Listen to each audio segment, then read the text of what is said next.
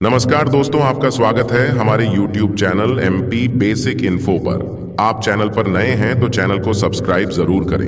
इंसान का मन दो तरह से काम करता है, एक चेतन मन कॉन्शियस माइंड के रूप में, और दूसरा अवचेतन मन सब कॉन्शियस माइंड के रूप में। चेतन मन का कार्य तर्क वितर्क का होता है, और वह हमारे शरीर की पाँच इंद्रियों के रूप में होता है। चेतन मन तभी काम करता है जब हम जागृत अवस्था में हो, जबकि अवचेतन मन नींद की अवस्था में भी काम करता है। अवचेतन मन एक मिट्टी की तरह होता है। आप इसमें जो भी बीज डालेंगे, वह उसे स्वीकार कर लेगा।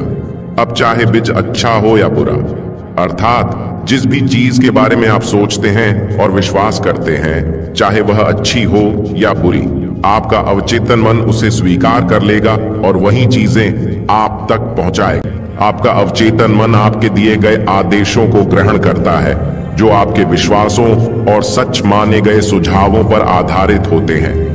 दोस्तों, जो कुछ भी आपको लाइफ में चाहिए या फिर कुछ बनना है तो आपको वर्तमान में उसे महसूस करना होगा और अपने अवचेतन मन को बताना होगा कि आपको वह चीज़ चाहिए या फिर आप वह बनना चाहते हैं।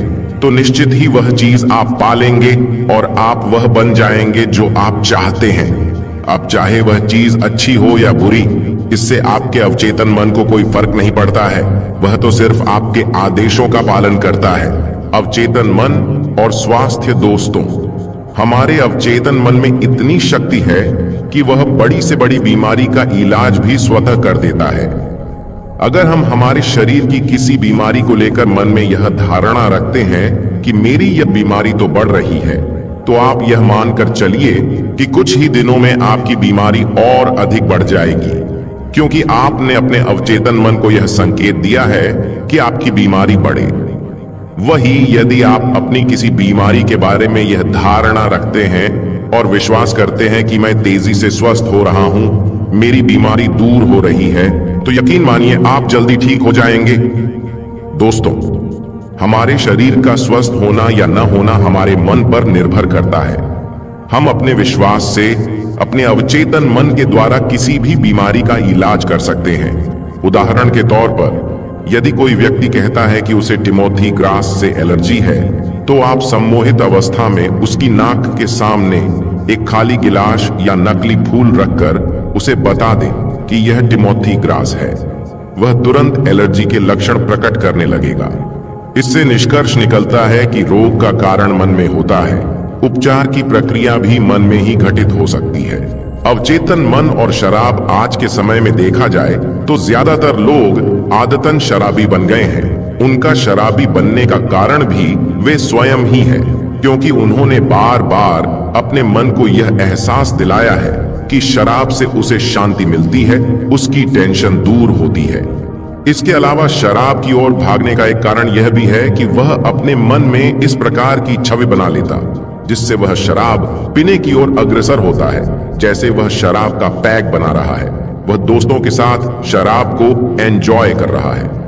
आदि, आपके भीतर अवचेतन मन में असीम शक्ति के भंडार और उपचारक शक्ति है। इससे इसी समय परिचित हो जाए। यदि आप शराबी हैं तो इसे स्वीकार करें। मुद्दे से न कतराए। कई लोग शराबी इसलिए बन रहे हैं क्योंकि वे इसे मानने से ही इनकार कर देते हैं। अगर शराबी इस आदत से छुटकारा पाना चाहता है तो सबसे पहले उसे अपने मन को फिर से कंडीशन करना होगा। अपनी पुरानी मान्यताओं को बदलना होगा। उसे हमेशा पॉजिटिव और अच्छे विचार ही अपने मन में रखने होंगे। अपने अवचेतन मन को यह बताना होगा कि अब वह सरब छोड़ रहा है। अगर आप ऐसा करते हैं तो निश्चित ही आप शराब पीने की आदत से मुक्त हो जाएँगे।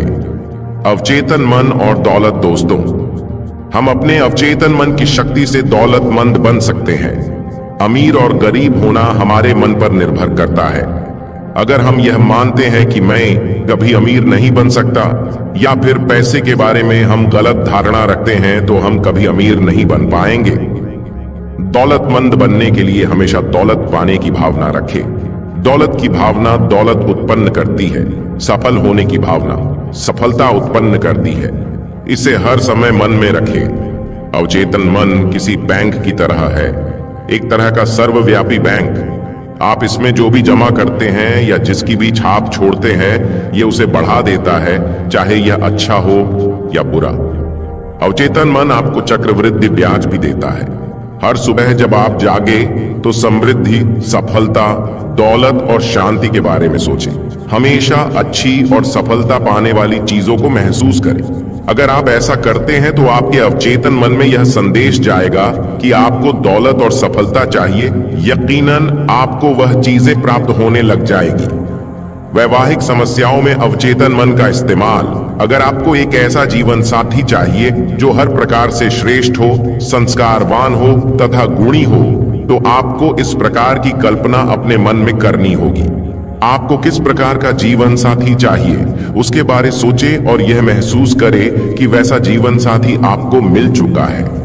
ऐसा कभी ना सोचे कि मैं तो किसी भी लायक नहीं हूँ। शायद ही मुझे कोई अच्छा जीवन साथी मिले।